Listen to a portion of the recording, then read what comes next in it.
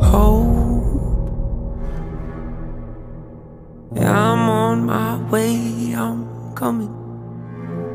Don't, don't lose faith in me. I know you've been waiting. I know you've been praying for my soul. Hope,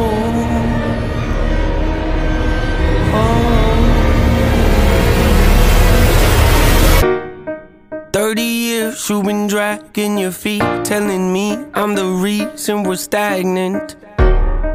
30 years you've been claiming you're honest and promising progress. Well, where is it at?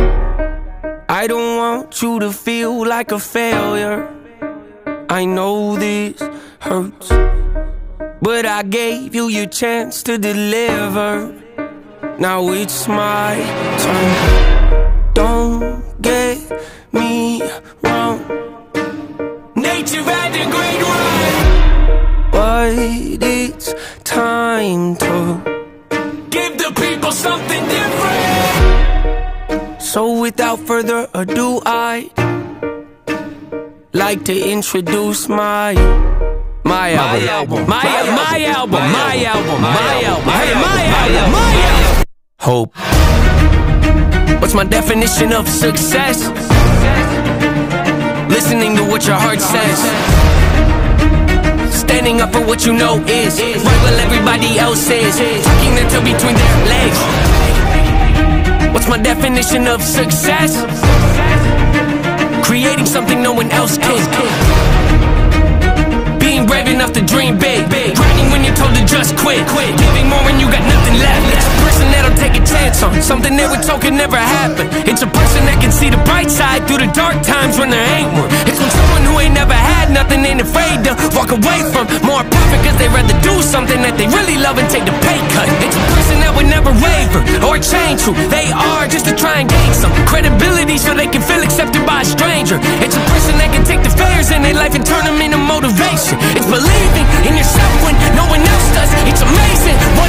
of faith can't do if you don't even believe in you. Why would you think or expect anybody else that's around you to? I done did things that I regret. I done said things I can't take back. Was a lost soul at a crossroad who had no hope, but I changed that. I spent years of my life holding on to things I never should have kept full of hatred. Years of my life carrying a lot of baggage that I should have walked away from. Years of my life wishing I was someone different, looking for some validation. Years of my life trying to fill a void, pretending I was in. They get it.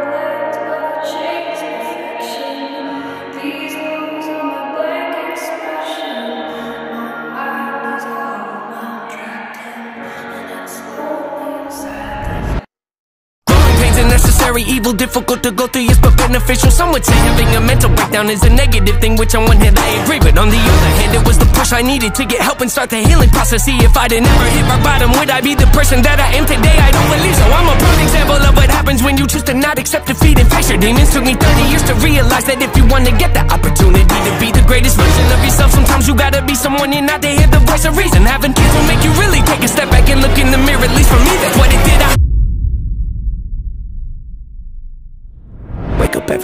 my son up, hold him in my arms and let him know he's loved. Love. Standing by the window, questioning if that is ever going to show up. Up isn't something he's gonna have to worry about. Don't get it twisted, that was in the shot. Mama, I forgive you. I just don't want him to grow up thinking that he'll never be enough. 30 years of running, 30 years of searching, 30 years of hurting, 30 years of pain, 30 years of fearful, 30 years of anger, 30 years of empty, 30 years of shame, 30 years of broken, 30 years of anguish, 30 years of hopeless, 30 years of hey, 30 years of never, 30 years of maybe, 30 years of later, 30 years of fake, 30 years of hollow, 30 years of sorrow, 30 years of darkness, 30 years of 30 years of baggage, 30 years of sadness, 30 years of stagnant, 30 years of change, 30 years of patience, 30 years of suffering, 30 years of torment, 30 years of 30 years of bitter, 30 years of lonely, 30 years of pushing everyone away. You'll never evolve. I know I can change. We are not enough. We are not the same. You don't have the heart. You don't have the strength. You don't have the will. You don't have the faith. You'll never be loved. You'll never be safe. Might as well give up. Not running away. You don't have the guts. You're the one afraid. I'm the one in charge. I'm taking the. I'm taking the.